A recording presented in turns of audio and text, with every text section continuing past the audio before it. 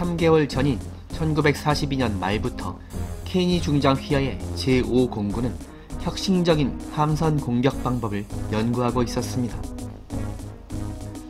이것은 이른바 skip bombing이라고 불리게 되는 폭격술이었는데 해상의 낮은 고도를 빠른 속도로 돌입하면서 철갑탄을 투하하는 방법이었습니다. 이렇게 투하된 폭탄이 수면에 닿으면 물수제비처럼 튀어나라 함선의 명중에서 치명적인 타격을 입힐 수 있었던 것입니다. 제5공군은 이 혁신적인 공격 전술을 위해서 B-25 미첼 폭격기를 개량했는데 저공을 고속으로 돌입하려면 적함의 대공포화로부터 반격을 받을 것이므로 일단 폭격기의 전방 화력을 대폭 강화하기로 합니다. 원래 B-25C 폭격기는 기수에 12.7mm 중기관 총 4정을 장착하고 있었는데 제5공군은 여기에 4정을 추가로 장착해서 무려 8정의 중기관 총을 장비하게 되었죠. 여기에 더해서 기체 상부의 터렛에 장비된 2정의 기관총도 전방 사격용으로 고정시켜서 10정의 12.7mm 중기관총을 전방으로 집중 사격할 수 있는 무시무시한 화력을 가지게 되는 괴물 기체로 탈바꿈시킨 것입니다.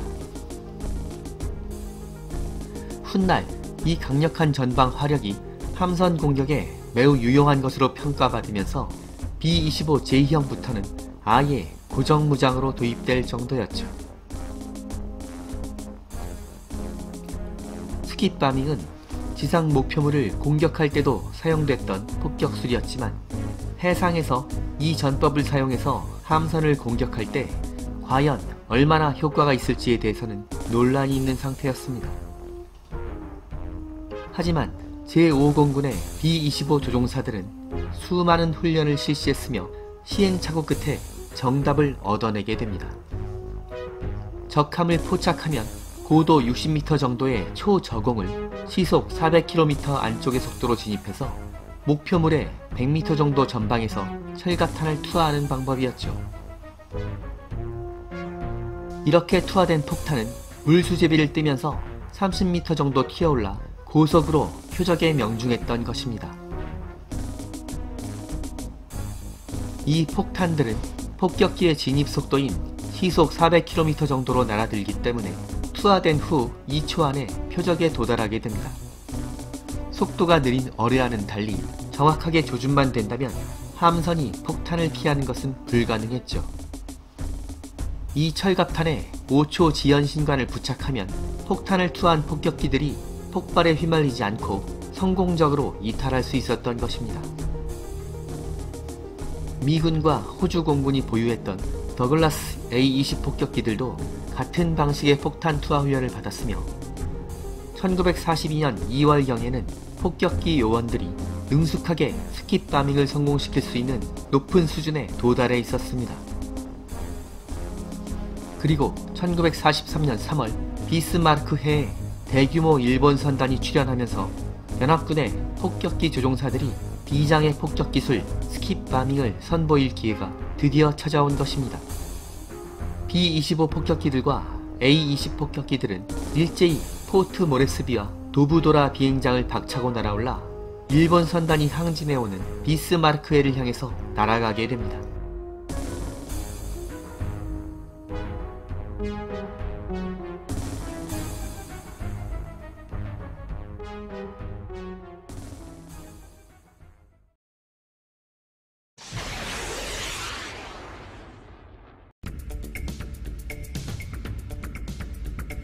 이 폭격기들이 전투 지역에 도달했을 때는 이미 아군의 중폭격기들과 전투기들이 일본 선단을 공격하고 있었으며 일본 함선들이 방어 기동을 시행하면서 혼란 상황이 벌어지고 있었습니다.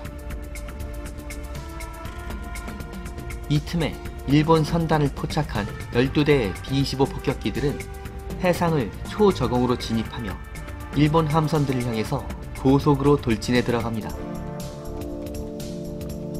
각 폭격기는 수송선과 구축함들을 포착하자마자 각자의 목표를 정하고 산계했으며 저공을 빠른 속도로 돌진해 들어갑니다. 이 폭격기들이 어뢰를 투하할 것으로 생각한 일본 함선의 대공사수들은 필사적으로 대공기관총과 개인 화기를 난사하면서 밀격을 방해하려고 했죠.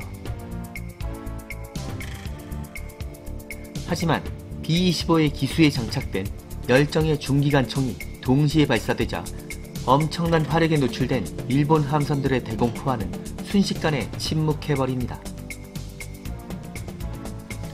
고도 60m의 저공을 시속 400km 정도로 돌진해오던 B-25 폭격기들은 목표물 전방 100m 지점에서 네 발의 철갑탄을 모두 투하한 후에 일본 함선의 상공을 스칠 듯이 날아서 빠른 속도로 이탈합니다. 잠시 후 승무원들이 전과를 확인하기 위해서 뒤돌아봤을 때 그야말로 멋진 장면이 펼쳐집니다. 투하된 폭탄들은 성공적으로 물수제비를 뜨면서 30m 정도 튀어올랐다가 빠른 속도로 적함의 측면에 명중한 것입니다. 투하된 폭탄의 50% 정도가 명중했으며 강력한 폭발과 함께 일본 함선들의 흘수선에 커다란 구멍이 만들어집니다. 전혀 예상치 못했던 skip bombing 전술에 노출되면서 엄청난 피해가 발생한 일본 구축함들과 수송선단이 우왕좌왕하는 사이에 이번에는 A-20 폭격기 12대가 연달아 돌입하면서 skip bombing을 실시합니다. 이 폭격기들은 총 20발의 철갑탄을 투하했는데 이 중 11발이 일본 함선들에 명중하면서 피해를 증폭시킵니다.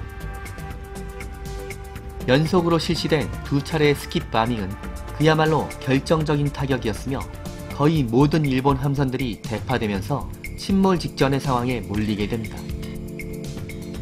8척의 수송선들은 불덩어리가 된 채로 표류하고 있었으며 잠시 후 한 척씩 침몰하기 시작합니다. 호위 구축함들의 피해도 심각했는데 세 척의 구축함이 직격탄을 맞은 후에 검은 연기를 뿜으며 해상을 떠돌다가 차례대로 침몰해버립니다. 이 공격에서 살아남은 다섯 척의 구축함들도 크고 작은 피해를 입은 후에 간신히 항진하는 상태였죠. 바다는 순식간에 지옥으로 변합니다.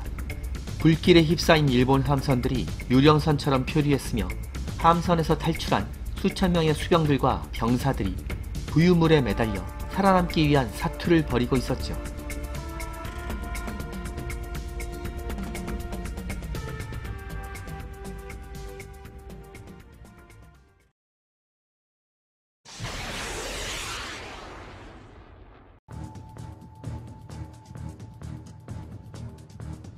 그런데 얼마 후 오후가 되자 이들의 상공에 또다시 미군기들이 나타납니다. P-38 라이트닝의 호위를 받는 B-17 폭격기들이 상공으로 진입하면서 또다시 폭탄의 비를 뿌려댑니다. 다른 방향에서는 8대의 B-25 미첼 폭격기들이 아직 침몰하지 않은 함선들을 목표로 또다시 skip bombing을 실시하고 있었죠. 이 공격으로 인해서 생존자들을 구출하고 있었던 일본 구축함 한 척이 치명상을 입고 침몰하기 시작합니다. 이 광경을 목격한 나머지 구축함 4척은 더 이상의 구조 활동을 포기하고 방향을 돌려 달아나기 시작합니다. 이 무렵에는 호주 공군의 고우 파이터 편대도 다시 나타나서 해상에 떠있는 모든 것에 대해서 기총소사를 퍼부은 후에 사라져버립니다. 일본군에게 있어서 지옥과도 같았던 3월 3일의 공습작전이 마무리된 후에 어두워진 바다에는 시뻘건 불길에 휩싸인 일본 함선들이 유령선처럼 떠돌고 있었죠. 이날의 공습작전은 제5공군에게 있어서는 그동안 갈고 닦았던 기량을 마음껏 선보인 날이었으며 예상보다도 훨씬 성공적인 전과를 얻게 됩니다. 물론 전투 과정에서 손실도 발생했는데 공습에 참가했던 B-17 폭격기 한 대와 B-25 폭격기 한 대, 호위 전투기로 참가했던 P-38 라이트닝 세 대가 일본 전투기들과의 격렬한 공중전에서 격추된 것입니다. 반면에 미군은 일본 전투기를 15대 이상 격추시킨 것으로 추정하고 있었죠. 제5공군 최고의 에이스로 활약하기 시작한 리차드 봉중이는 이날의 전투에서 하야부사 한 대를 격추하면서 여섯 대째 격추 기록을 달성합니다. 이날의 전투 이후에 미군이 유기니 전선의 주도권을 잡게 되면서 이 젊은 에이스는 빠른 속도로 일본기 격추 기록을 쌓아가게 됩니다. 모든 출격기들이 돌아온 후에 전과 보고를 받은 케니 소장은 만족한 표정을 지었지만 다음날 새벽부터 또다시 모든 기체를 출격시켜 작전을 완벽하게 마무리하라는 명령을 내립니다.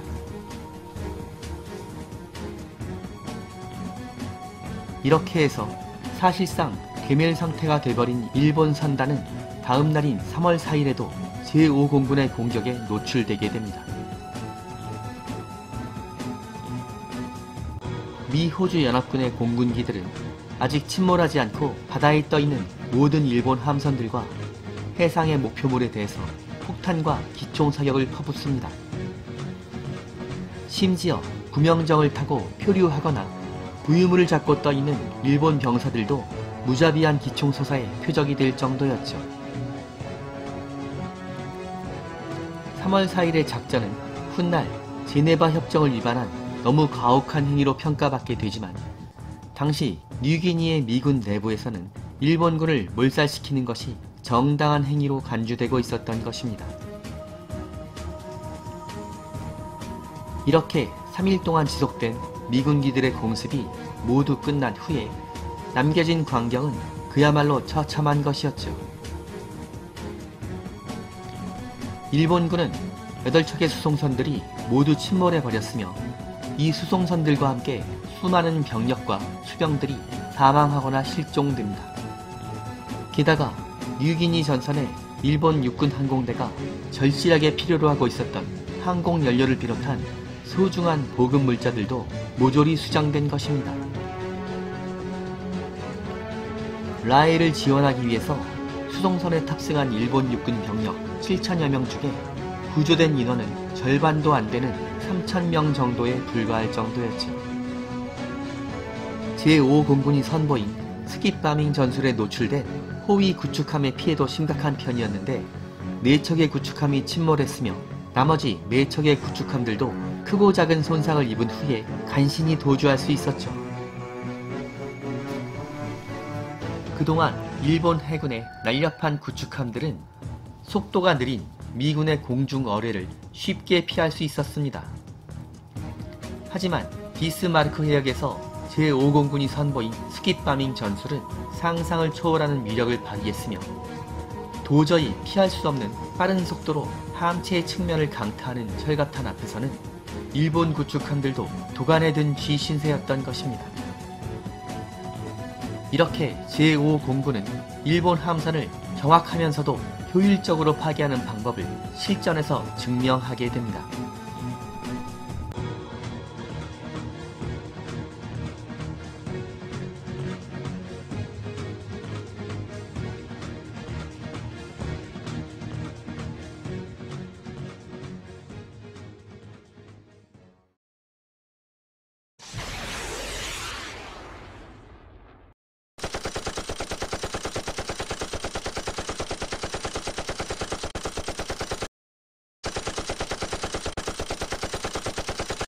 이 전투는 훗날 비스마르크해 해전으로 불리게 되는데 그동안 통쾌한 승리에 목말라 하던 맥아더 장군은 전과를 보고받은 후에 뛸 듯이 기뻐했으며 제5공군 사령관 존 케니 소장에게 찬사를 아끼지 않습니다. 미국 언론들도 이 커다란 승리를 대서특필했으며 이제 일본군에게는 비참한 최후만이 남아있다며 제5공군의 전과를 극찬합니다.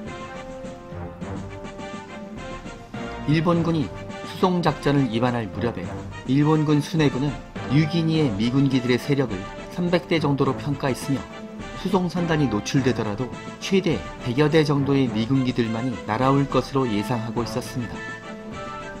하지만 일본 선단이 출항하기 전부터 일본군의 계획을 알고 있었던 제5공군은 동원 가능한 작전기들을 모두 대기시켰다가 일제히 출격시키면서 일본군을 완전히 압도했던 것입니다.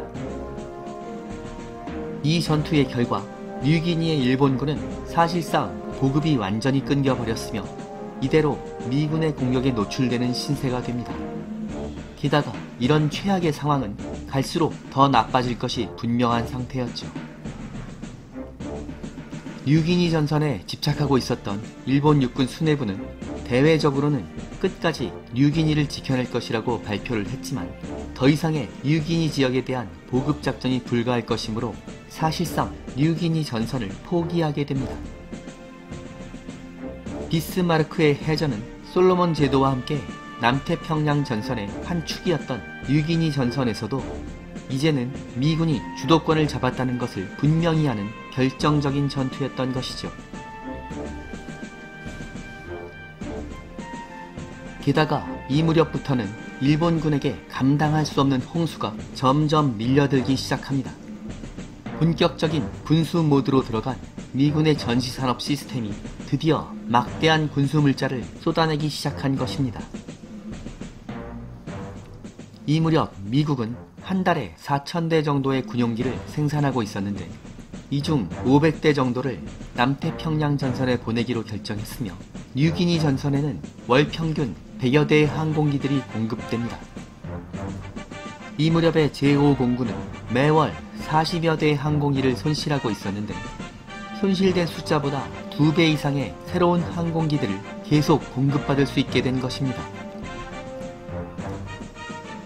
1943년 1월까지는 뉴기니에서 대치하고 있었던 미군과 일본군의 항공 전력이 비슷한 수준이었죠. 그런데 이후부터 뉴기니의 제5공군 항공기 전력이 빠른 속도로 강화되면서 1943년 6월경에는 항공기가 2배를 넘는 700대로 늘어나게 됩니다. 반면 뉴기니에 배치된 일본군의 항공 전력은 300대 정도의 세력을 간신히 유지하고 있었죠. 일본의 산업 능력으로는 아무리 발버둥치며 최대한 가동을 해도 손실된 기체들을 간신히 메꾸는 정도밖에는 항공기를 공급하지 못하고 있었던 것입니다.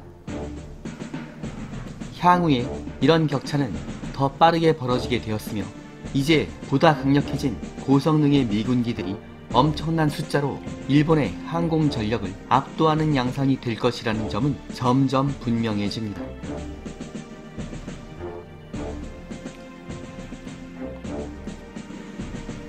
제로를 잡아라 시리즈는 다음 회로 이어집니다. 여기는 밀리터리 항공의 잡학 채널 불타는 하늘입니다.